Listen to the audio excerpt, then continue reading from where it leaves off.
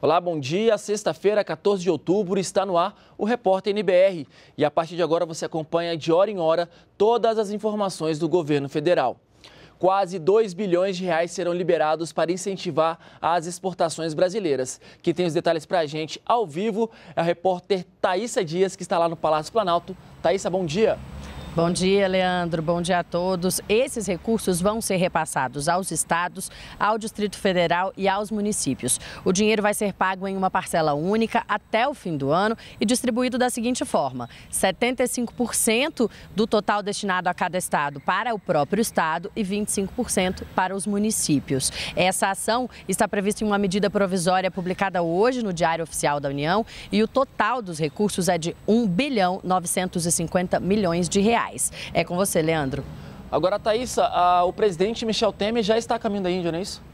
Exatamente, ele embarcou nesta madrugada para a Índia. Lá, ele participa na cidade de Goa, da oitava cúpula do BRICS, o grupo formado por Brasil, Rússia, Índia, China e África do Sul. Também na Índia, ele tem encontro bilateral com o primeiro-ministro indiano, Narendra Modi.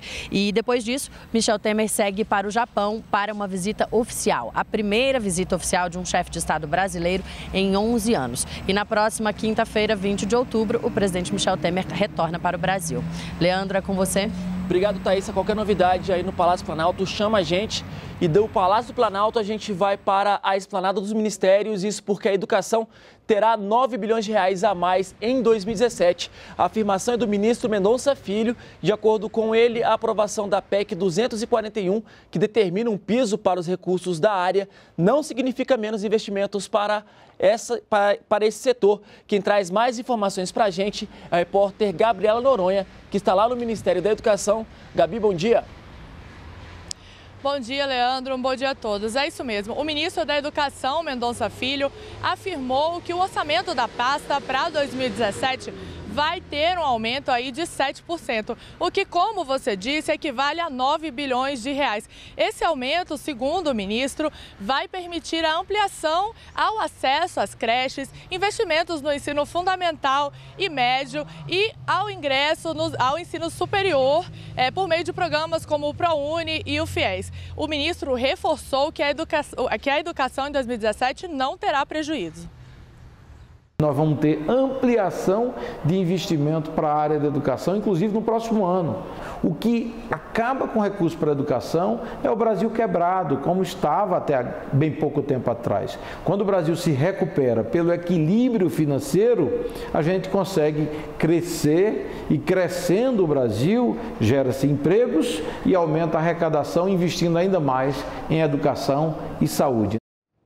E ainda falando em educação, 14 milhões de crianças e adolescentes do programa Bolsa Família tiveram frequência escolar acompanhada pelo governo federal de junho a julho deste ano.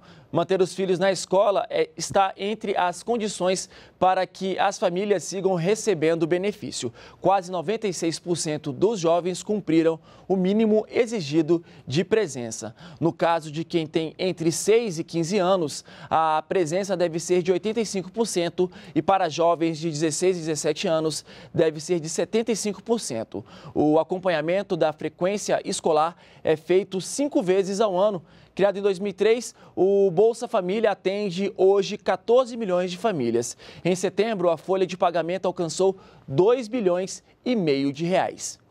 E o IBGE lançou novos indicadores do mercado de trabalho. Entre as informações analisadas dentro da pesquisa nacional por amostra de domicílios, continua por amostra de domicílios está a subocupação por insuficiência de horas trabalhadas. A repórter Natália Mello explica essa mudança para a gente. Mais de 16 milhões de brasileiros estão pelas ruas em busca de emprego. São pessoas disponíveis para trabalhar ou que já estão inseridas no mercado e procuram uma renda extra. Para saber melhor sobre essa demanda, o IBGE lançou novos indicadores sobre a força de trabalho no país, que passam a fazer parte da Pesquisa Nacional por Amostra de Domicílios Contínua, a PNAD. O levantamento é divulgado a cada três meses e traça um perfil da população brasileira no mercado de trabalho. Nós estamos medindo desde 2002 a subutilização da força de trabalho através de apenas um indicador que é a desocupação. foram inseridos juntamente nesses indicadores mais dois atores, né? mais duas formas de subutilização da força de trabalho. São aquelas pessoas que estão subutilizadas por insuficiência de horas trabalhadas. Quem são essas pessoas? São pessoas que estão ocupadas, trabalhando menos que 40 horas por semana, mas gostariam de trabalhar mais horas e estão disponíveis para trabalhar essas mais horas.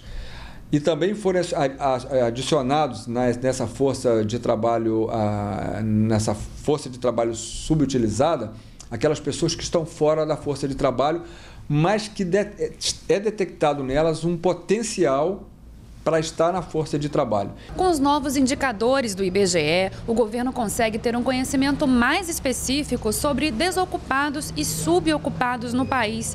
A ideia é desenvolver políticas públicas para integrar esses grupos no mercado de trabalho.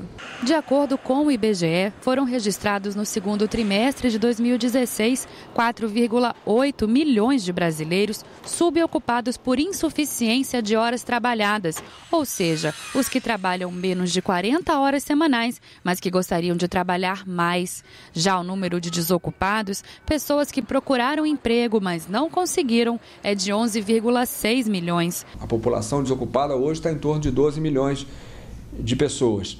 Né? O que nós temos hoje é um conjunto a mais de pessoas que estão subutilizadas seja por horas trabalhadas, por insuficiência de horas trabalhadas, ou seja, porque são pessoas que estão fora do mercado, é, não foram classificadas como desocupadas, mas têm um potencial para estar nesse mercado.